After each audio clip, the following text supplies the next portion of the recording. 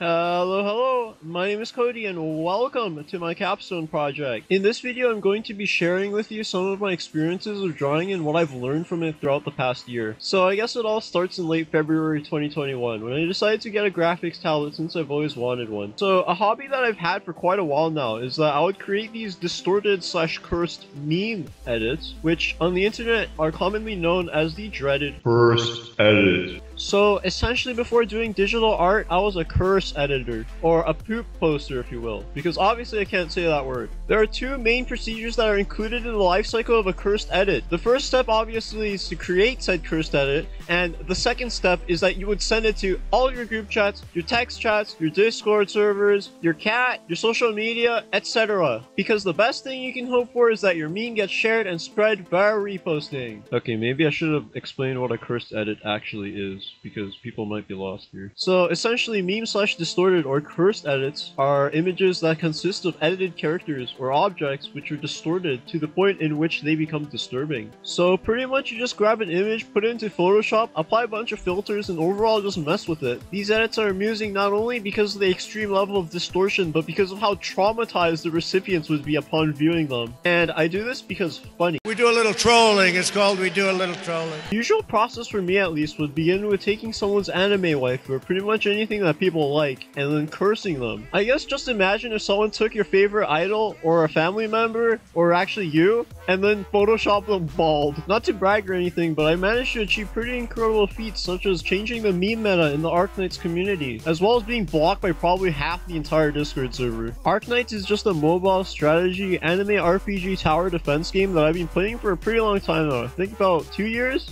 It's also where I can get a little bit of inspiration. Anyways, yeah, it's just a community full of degenerates I've been in for a while now, and it's where I lose my excess brain cells. As I was saying, I even have entire folders of subgenres for the so-called cursed edits. Here's one, the Blitz Smile edits, a major one that a few of the other memers also caught on to and started producing their own Blitz Smile edits. The story with the Blitz Smile edits is that Arknights had a collab with the popular game Rainbow Six Siege, and Blitz is from Rainbow Six Siege and someone happened to put his face into FaceApp and made him have this funny smile. And I would just cut out his face and Photoshop it onto anything ranging from a beach building thing to a human rat. The next day someone sent me this email and I was like, huh? And then I realized I'm not very smart because I leaked my email by sharing the drive link. Anyways, my program of choice for these cursed edits back in the day was GIMP. GIMP is basically a free-to-play version of Photoshop, but it also has its advantages and is better in some departments. Highly recommended. By the way, you can get a grasp on how to use GIMP pretty easily and memify anything at will. It's a funny skill to just have and it's easier to obtain than most people think. Most, if not all, Photoshop apps are very similar, so you learn it once and you learn them all. One day, I just thought to myself, instead of taking other people's art and cursing it, what if I just made my own art? And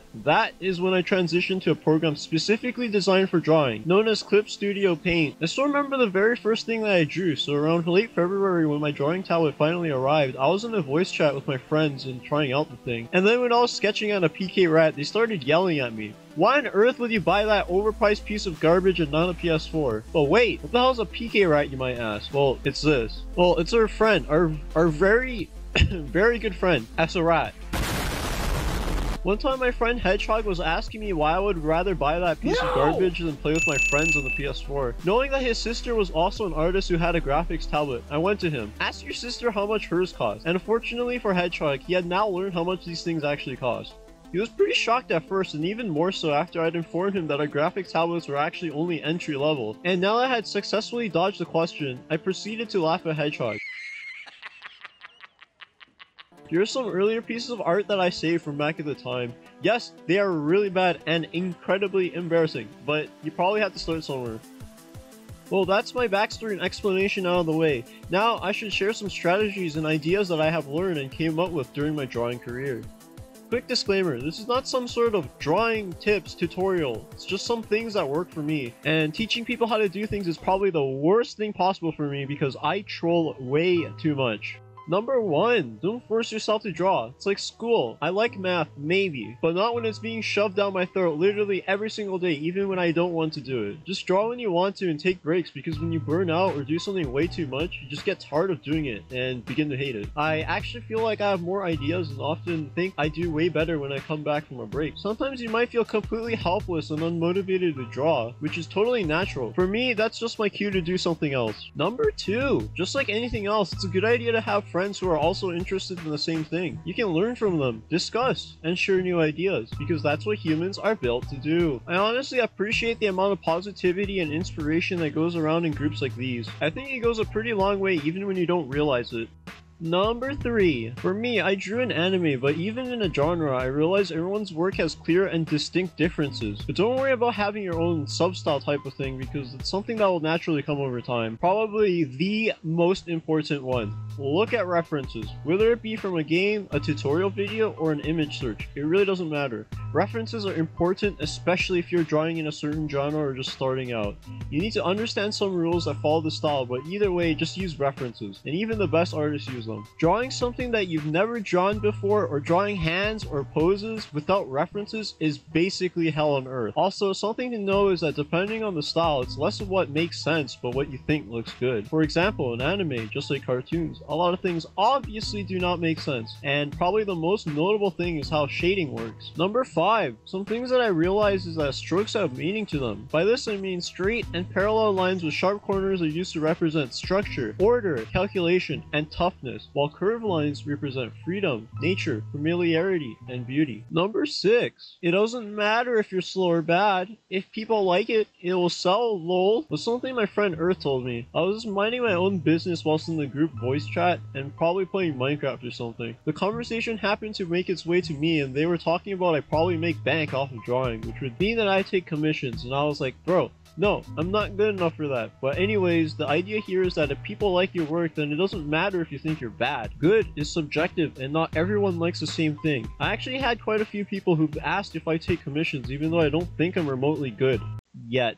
Number seven, a really good tip that I learned from one of the homies in the drawing communities is look back at your work from before. I did it and I was like, man, look at that garbage that I drew before. I really like this strategy because it shows you how much you've actually progressed and it also makes you feel good. Drawing was a wonderful way to help me waste free time and relieve some stress, especially when we were still being cooped up in our homes because of that dumb thing known as COVID-17 or whatever. I gotta admit though, getting used to drawing on a graphics tablet was pretty hard and the ironic thing is that there's this saying, the better you are are on paper, the harder it is to grasp digital. And it's actually pretty true as far as I know, and there seem to be sources to confirm that. At some point I found that I'm still better drawing on paper, or at least more comfortable and faster, even though I had absolutely no experience drawing whatsoever. I guess the two platforms seem like they're the same animal, but they're a completely different beast. It's like playing soccer and then expecting to be good at Rocket League, when in reality you usually only get to choose one. You either look like this, or you actually go outside and touch grass. Overall, I guess you can't really judge how easy something is because learning to draw depends on the person, and judgment on individual drawings is subjective. Also, I think difficulty is not really an important thing and it depends more on if you want to do it or not, and how much time you're willing to spend. Probably more about time and motivation than difficulty, but it's pretty cool though, because you can still be learning new things even after a decade of practice. Obviously, just like most things, getting into it is still the hardest part, but it's still a worthwhile skill to just pick up even if you aren't going into a career that demands it. Also, some people will be able to do things for a longer period of time, kind of like having a maximum amount of patience, I guess. And for others, it takes longer to learn something. And maybe some people just don't have the time. For me personally, it's probably not fair because the last three generations of my family does consist of actual artists, so there's that. I've got absolutely no regrets putting a little time into it and probably will continue to do so in the future. At least in the end, it'll be more useful than playing video games all day. Also, even during these days, I still continue to create the cursed edits from time to time, although my products only consist of these more basic